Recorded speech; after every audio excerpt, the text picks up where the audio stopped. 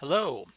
So this is the video to help guide you in doing the assignment set for chapter 11 in uh, in BA 212 um, the second uh, section uh, or the second course in the principles of accounting sequence. Okay, so we're working in chapter 11. The chapter 11 homework Assignment set requires us to do exercise 5, exercise 7, exercise 10, and then we have one problem set, which is problem 1A. Okay, so uh, we're going to go ahead and start off. And then this is this chapter is over uh, current liabilities and payroll accounting. So we're going to start off with a payroll accounting problem. So the payroll accounting problem Okay, it's going to be exercise five is what we're going to do. And that is going to, uh, it's a BMX corporation or company. It has one employee. Okay, and so it has all the different tax setup that as explained here. It's going to have FICA, Social Security tax at a rate of 6.2% of the first $117,000 paid to its employee. FICA Medicare taxes are going to be 1.45% of gross pay. Uh, we're also going to have FUTA taxes of 0.6%. SUTA, which is the state unemployment tax of 2.9% of the first 7,000 paid uh, to an employee. And uh, then what, what we want to do is we're going to compute the uh, taxes as applied to the employee's gross earnings for for um, each of the situations. So we have three scenarios, uh, A, B, and C. So I have here, you can see that I have set up already in this spreadsheet uh, the three scenarios. Okay, so we have we have a, a column for the scenarios here. Uh, tax name, so this is FICA Social Security, FICA um, uh, Medicaid, or Medicare, I should say.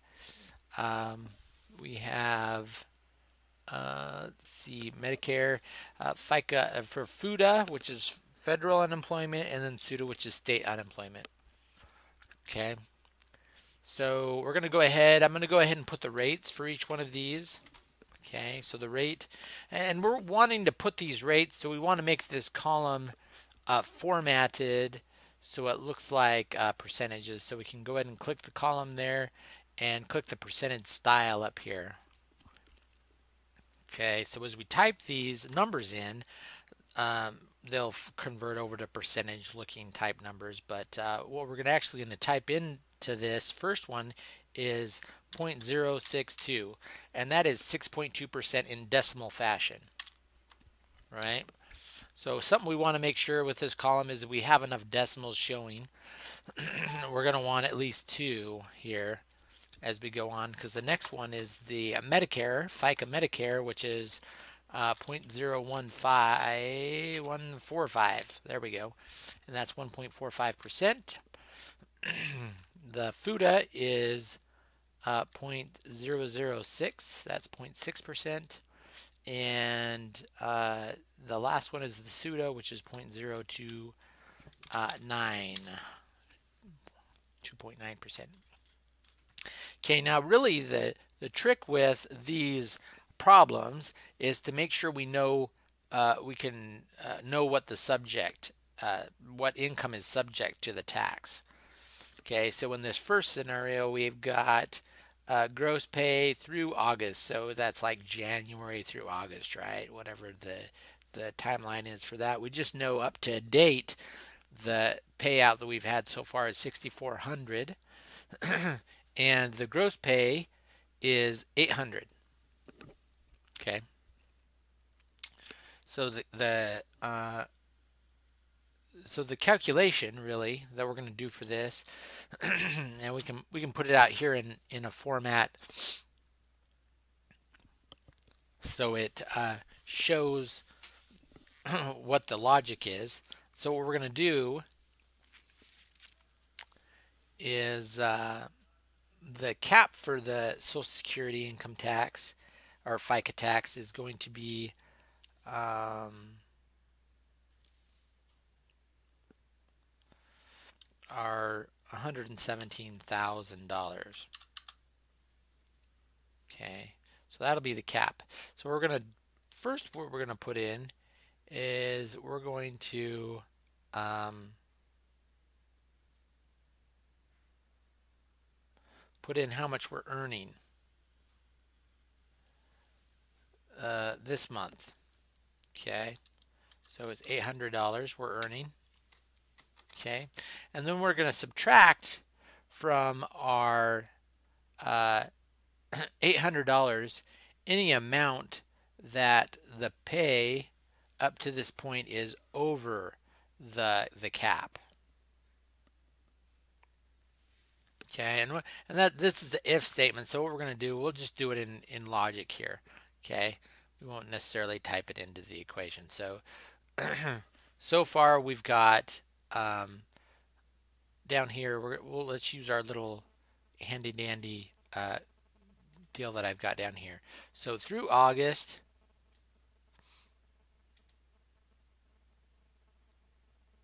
we'll, we'll do this. Through August for scenario A, $6,400 in earnings. September's earnings 800. Okay. The cap or the max amount, cap and we'll or we'll put uh, slash max, right? Uh, of um, subject income subject to tax is 117,000. Okay. so what so what that tells us is uh, th this is the amount over max. And right now we're not. We're way under max. We're $109,000 under max. So we don't have to worry about that one. So everything's subject to tax. The next one is the same setup. Same numbers. Actually, you know what? For the Medicare, there is no uh, max or cap. That is, uh, it's all gross. So, so for FUTA, uh, it's $7,000 is our uh, cap. Okay. And so in this one, we see that, yeah, we are over max by $200. So we're going to take that amount out of the subject tax. And so it's only 600 that we're going to be subject to. Okay. And for both of these, that's they have the same uh, max cap. Okay.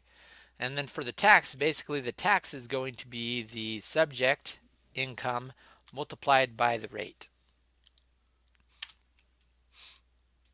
Let me go ahead and drag that down. Okay, so subject income minus the rate. And then the explanation is, um, so this one here is full amount is subject.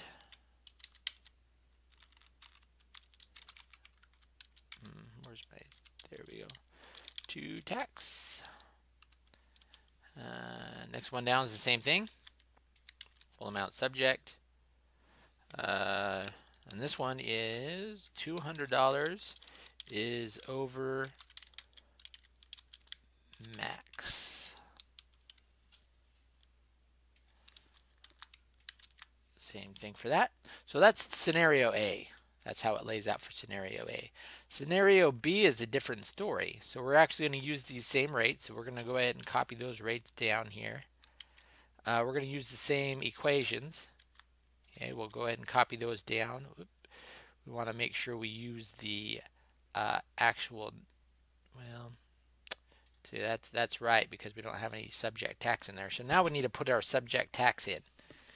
Okay, so uh, we're going to use our little handy dandy box here. So the the income through August for scenario B is 18,200. September's earnings is 2100. Okay. And so our cap max for SUTA uh, and FUTA we're way over the max. So for these two down here, there's not going to be any subject tax. Um, for if we redo our cap here for the Social Security, we're still way under. So that that full deal, 2100, is going to be subject, and Medicare there is no max, so that's what it's going to be. So again, we're gonna oops. we're going to go ahead and bring these down here. This is going to be the same thing. And then the explanation for this is full amount is over max. Okay, for that. Okay, and then scenario uh, C, again, we're going to drag down, we'll drag down our same uh, rates and uh, tax equation here. We're going to have to redo our amounts here. Through August, the amount is going to be 110,700. And then September's earnings 8,000. So the, so here's our total earnings, right? This is total earnings, right? And then our cap uh, max is 117. So that's for our FICA Social Security. We see here that we're 1700 bucks over. So out of this 8,000 over here, if we subtract, if we go ahead and take our 8,000 and we subtract out our overage, then that will give us the amount that we need to, uh, that is subject to tax. Okay, so that's over here, that's 6,300. Uh, again, the full amount of Medicare is, there is no cap there. FUTA and SUTA are just way out of, they're way over the max, right? so let's go ahead and copy these explanations down and um, all of them are going to be correct except this one. We're going to say um, that the Social Security is seventeen hundred dollars uh, is over max. Okay, so there we go. Exercise five. That's how it's laid out. Okay, now with exercise seven, exercise seven is going to require us to use scenario A that we created here. Okay, so we're going to use scenario A. We're actually going to copy it over here to our spreadsheet. Okay, so there, there's scenario uh, A. and then what it wants us to do is it wants us to record the the uh, journal entry for the um, it wants us to record the employer's portion uh, for the uh, the payroll expenses, employer's payroll tax expense and related liabilities. so this is the employer portion, not employee. Um, and so what we're going to do is this this is all employer, right? So employer has to double the FICA, employer pays FUTA and SUTA. This is what we calculated. Okay, so what we're going to do is um, to know our total expense, uh, we're going to go ahead and just sum up this, all of these together. And so that's going to be our total. Okay, so it's going to increase our payroll taxes expense. This is going to be our account. Okay, so here's our, um, let's make this, there we go. So uh, our debit pay to payroll tax expense is going to be this number. Oh, I messed that up. There we go. So this is going to be equal this number. Okay.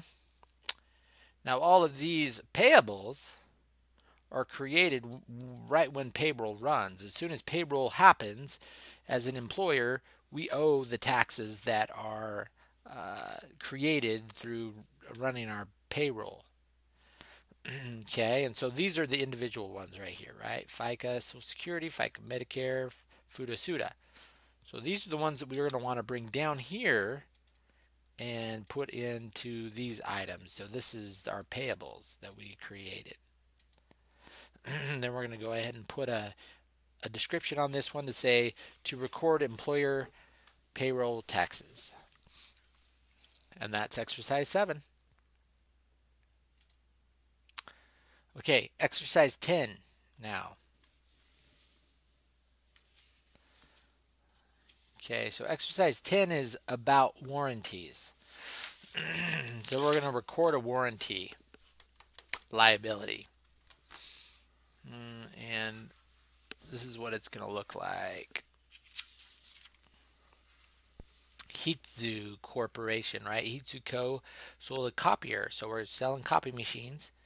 Uh, it cost us, so let's say we're Hitzu, cost us $4,800 for that copier. We resold it for 6000 right? So $4,800 is our cost of goods sold. And then uh, when we sold it, we actually have a warranty on it, two-year parts warranty on that.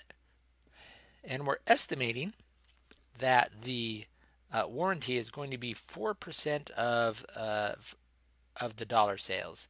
So our sales are 6000 And right here in the middle, uh, it says there are repair costs for $209 some materials were broken, right? Or parts uh, for the copier broke during that first year after we sold it. And so what we're going to do is we're going to follow this down. It's going to have five parts to this problem. the first one, uh, the question is how much warranty expense does the company report in 2015? So the company reports So this is this is the way we figure this out. is our warranty expense is going to equal 4%, right? Because that's the percentage of of dollar sales, right?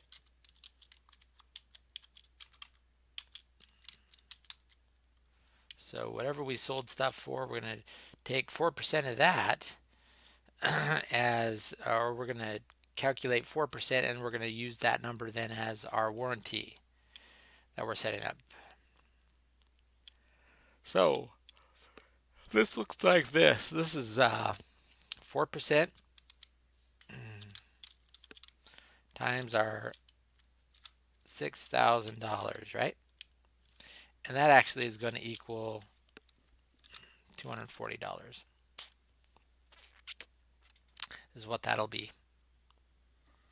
Okay, so that's number one. Number two, how much is the estimated warranty liability for this copier as of December 31st, 2015?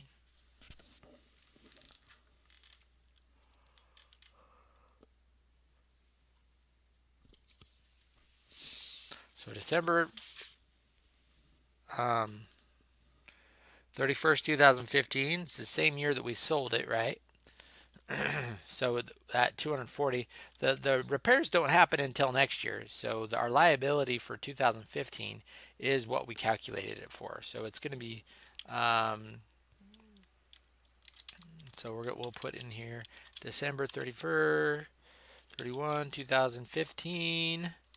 Uh, what is it called? Estimated uh, warranty, warranty.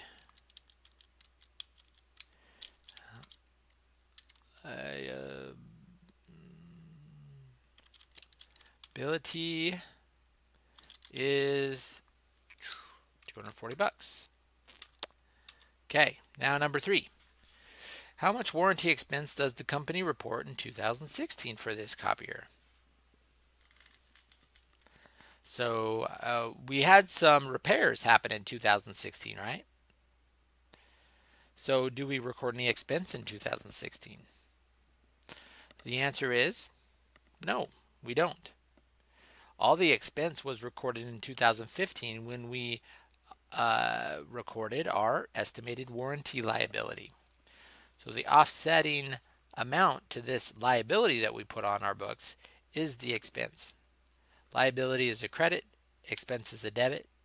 So we really don't have any more expense to record at this time. What we do have though is, uh, well, nothing. So, so what the answer to number three is, um, no additional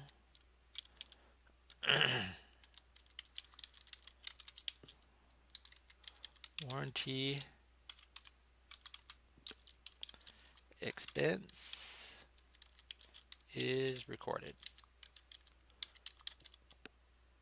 Okay, so and now we're on to number four. How much is the estimated warranty liability for this copier as of December 31st, 2016? So the end of 2016, what's our um, liability balance? so to start off, it was 240. And uh, and so that's the end of of 2015. We we said here up in uh, number two, the end of 2015, our balance was 240. Okay, so 2016, uh, we had uh, parts repair, right? We had a parts repair of 209, so that'll be negative, which leaves us a balance of uh, which is uh, 2016 balance, right? equals. So we have our beginning balance, add on the, the adjustment there for the parts repair, and we've got 31 bucks in that uh, warranty liability at the end of 2016. So now, uh, number five, we are preparing journal entries. So we're going to prepare a journal entry uh, to record the copier sale, the adjustment uh, uh, on December 2000, uh, 2015, December 31st, and we're also going to recognize warranty expense and repairs. Uh, we're going to recognize the expense on the adjustment, and then we're also going to do a journal entry for the repairs. Okay, so here are our journal entries. So we're going to have an account here, we're going to have a debit, and we're going to have a credit. Okay, so this first one is recording the um, sale of the machine. So we sold the machine. Um, did it say what we sold? Okay, it said cash. So it's $6,000 cash. So we got more cash. So that's a debit. Okay. And uh, then the credit on that is our revenue, right? So we're going to credit revenue. So that one is to uh, record sale of copier. Oh, oops, that didn't work. Not copies, copier. And then the next one is going to be uh, the the copier was sold, right? It was in inventory. So now we need to actually uh, count the expense for buying that copier and reduce inventory. So our cost of goods sold is 4800 bucks. That's how much we bought the copier for. And our merchandise inventory is 4800 bucks. And that is uh, to record cost of copiers sold, right? All right, so now our next one. We need to uh, record that initial uh, that initial uh, warranty liability at the end of the year, 2015. So uh, the liability is the credit. So the debit here in this case is going to be that expense that attaches to the warranty. Okay, so it's, we're going to have a warranty expense. And like I said, the credit is the uh, estimated warranty uh, liability. Okay, so here's our debit. And that's going to be, we calculated it up here, right? It's 240 bucks. Okay, 240. Alrighty. Okay, and then the very last one here, and that was that one right there was to record the uh, to record estimated warranty liability. Mm, and then the very last one here is the are those repairs that were done, right? So uh, in 2016, right? So we've got 2016, and then uh, the the repairs that were done actually reduce our liability. So this is work that we we had figured we had estimated we were going to have to do, right? Once it's actually done, then that reduces our liability. So that's some stuff we thought we were going to have to do that we did, so it's done. So we can reduce the liability. So and that's actually this account right here, right? So estimated warranty liability. So we're going to reduce that by the amount of the parts and we did use parts, right? We we actually got the parts out of our inventory that we purchased, that we had in inventory, and um, we put them on the copy machine. So they're not ours anymore. So we're actually got to get rid of them. Repair parts inventory. Okay. So that's reduction of that asset that we have. And then we're going to say uh, to record cost of uh, repairs, warranty repairs. All right, so hopefully that helps you. All of that stuff there. Okay, so now we've got to do the problem set. So here we are. So there's the problem set. 1A is what we're doing, right? Problem set 1A. Tyrell Co. So we entered the following transactions uh, involving the short-term liabilities in 2014-15. Uh, uh, the, I think the dates were a little different on our template, but uh, don't worry about that. So the first one that we're going to do here, so we've got some um, different things that we've got to calculate up at the up at the front here. Okay, we got some notes that are that are uh, happening here. So that we got to put the date of the note down, term of the note, so how long the the note is in days, right? And then the maturity date. Okay, so this very first uh, note here is uh, locust, right? is what we're looking at.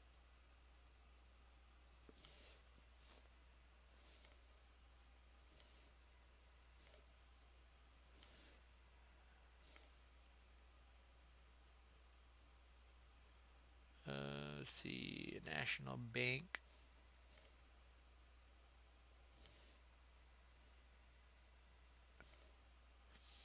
Mm-hmm.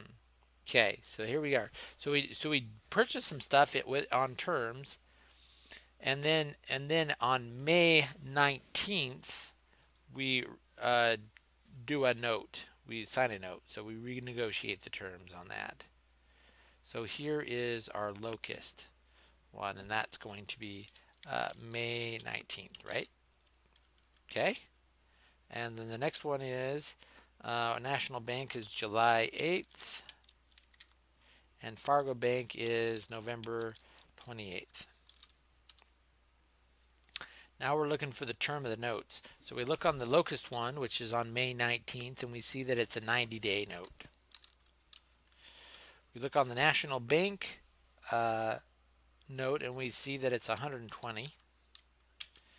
And then we look at the Fargo Bank, and we see that it is 60-day. Uh, so then we can calculate out uh, our days and figure out when the due date is. Okay, and so that's just a matter of taking, uh, looking at a calendar and figuring out what the due dates are on these. Okay, so the due date for this one is August 17th. Um, and that's in, that's in the wrong format, but we won't worry about that.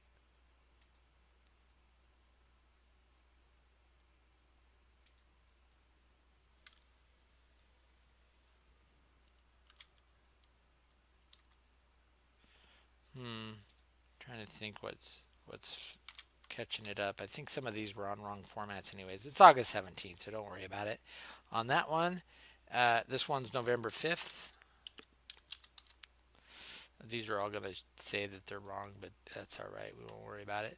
And then this next one is January 27th. all right. So now, uh, now we figure out, got to figure out what the principal of the notes are. So again, we're looking back at our um, problem set there, and we figure out that the principal of this note is 35,000. Uh, principal of the National Bank is 80 80,000 and then Fargo is 42,000. Okay. Oop, too much too many zeros. Okay. So now annual interest rate is going to be the the noted interest rate on the note there. So that's going to be 10%, 9%, 8% fraction of year. So, so this is uh, like we talked about in class. So we're going to use 360 days for the total amount of the, in the year. The fraction is going to be how long the note is, or the term of the note, right? So we're going to go 90 divided by uh, 360. Okay. 120 divided by 360 and it's turning it into fractions. It's simplifying the fractions for us, which is totally fine. Divided by 360. Okay? And now we do our interest expense, which is we take the top number, multiply it by the second number, and then the third. Boom. There we go. So and we can actually drag that same formula over for all the rest of them. Okay? So now we're going on to uh, number three. So this is accrued interest. So interest that isn't paid, but since the time is past, we're going to have accrued interest. So it says at the end of 2012. In our case, it's going to be, uh, let's see, this is going to be on Fargo. So the Fargo note is, uh, we have got it in 2015, 14, 15, right? 2014. And so we're gonna we're gonna say that. Uh, so it started on November 28th, right? And then, um, so so we've got a the total interest on the note is that right 560 so we calculated that our fraction of term means how many days at the end of the year have we gone in relationship to the entire term of the note? So if we calculate out, this one started on November 28th. So we've got a couple days uh, there. December 31st, right? So there's 31 days in December. So we've got 2 plus 31. So that's going to be 33 days till the end of the period divided by 60, which is the total term of the note. Uh, and it's going to it's going to round it, but you see up here at top, it's actually calculating correctly, which is okay. It's just kind of kooky that way. And so then we're going to go ahead and calculate by saying um, our total interest owned, owed uh, for the note, and we're going to multiply that by the fraction of the term. Okay, and that'll say, okay, the, uh, at the end of the uh, year, this is what we have to uh, record as interest. Okay, as an adjustment. Interest on the Fargo note for 2013. so this one's pretty easy. It's a lot easier than what this one lays out. You basically just subtract what we accrued before from the total and get the difference. But uh, we'll go through their fraction of term again. Again, it's uh, 560. The remaining fraction of term is 27 days. We used 33 before, right? And that's going to be over 60. And then the interest expense will be this 560 times our fraction of, whoops, 560 equals 560 times the fraction of years, and that gives us the uh, correct answer there. Okay, so now we got to make a bunch of journal entries for this one. Uh, again, just ignore the the years on there. and so the entry, the entry uh, journal entries that we're going to make is we're going to prepare journal entries for all the preceding transactions and events uh, of the years. Okay, so all the preceding ones. So our merchandise inventory. Remember, did we go and buy some buy some stuff? Yeah, it was the very first one, right, for Locust. So the amount of stuff we bought was what? It was 35,000, 35, I believe, on that. And so then we can put, uh, uh, see.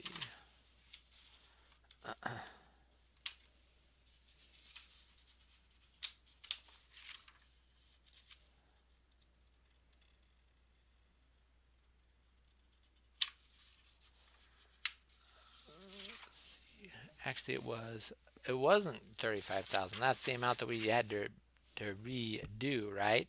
So it was actually uh, that we purchased 40,250 is what, what it was on there.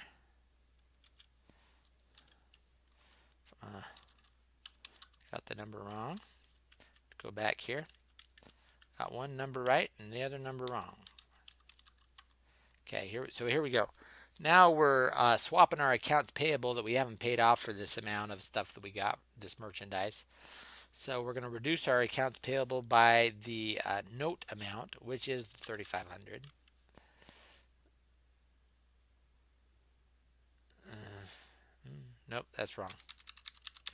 We're going to reduce the whole accounts payable. We haven't paid any of it. But we're going to reduce the whole thing because we're actually going to pay some cash here. So we're reducing the whole amount getting rid of it all. The cash that we ended up paying is 5250 and then the uh, notes payable is that 3500 35,000 that we were looking for. Finally, it came up. Okay. okay. So now the next thing that we're going to do here is uh, we're going to um, get some money from a, uh, the notes payable that we gave to the National Bank, right? So the amount of cash that we got was uh, 80,000 and that's a liability because that's not our cash. We were just borrowing it. So August 17th, interest expense on our locust, right? So this is when this one's due. Okay, so our interest expense here, we're going to have to calculate it, right? We already calculated it up there. We can bring that down. It's going to be uh, 875. The face value of the note, right, was 35,000. And so a combination of these is going to give us the total cash that we ended up paying. Um, and then we're going to do it for uh, our national bank uh, note as well. So the interest we calculated above is 2400 the note was for 82,000, uh, 80,000, sorry, 80,000. And then the combined amount for that, the total cash out the door is 82,400. Okay. Okay, now now we've we're come down here to our Wells Fargo and we're come we're going to take out some more money here. All right, so the money that we're going to take out uh, for this loan here is 42,000. 42,000. Then at the end of the year, since time has passed, we're at the end of the accounting period, time has passed, interest is payable. we're not going to pay it yet though, but it's payable because time has passed, right? So, and we did those calculations. So this was to the end of the year, 308 bucks. And then as we finally pay it off, we're going to be able to say, okay, our interest expense was the remaining that we hadn't recorded yet, which is 252. Notes payable is the face value of that note that we took out, 42,000. Interest payable, we just made that in the entry above, it's 308. Right? And then our cash is combination of all of our debits, right? The credit here is 42,560. There we go. So that does that. And uh, hopefully this has helped as I walk through it. Um, you've been able to uh, understand how all these things flow together and work with our current liabilities. Some of them have a couple of, you know, just a little tricky calculations there. But as you understand the uh, the nature of liabilities, that they are permanent accounts, right? That we owe people, and then typically working with our liabilities, we're going to have an expense. So whenever we pay those liabilities, we're going to have an expense at that time, right? Or we could have it as interest accrues as well. And so just uh, those are a couple of issues to look at on how the liabilities work. And so we will see you in class uh, later this week. Thanks. Bye.